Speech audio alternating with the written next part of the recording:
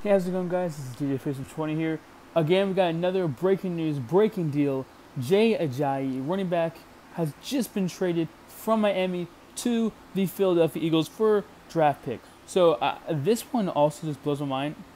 Um, I don't know what this means for you know maybe the Dolphins just don't like what he's doing. Maybe they're just looking for some draft picks, trying to draft some more players, obviously. And the Eagles now they have a good power back and Blount. They also now have Jay Ajayi. Um, that leaves questions open though. Well, they're going to get rid of people like Clement, Barner. Are they going to get rid of Sproles at the end of the season? Could Sproles be retiring? Uh, this is interesting to think about.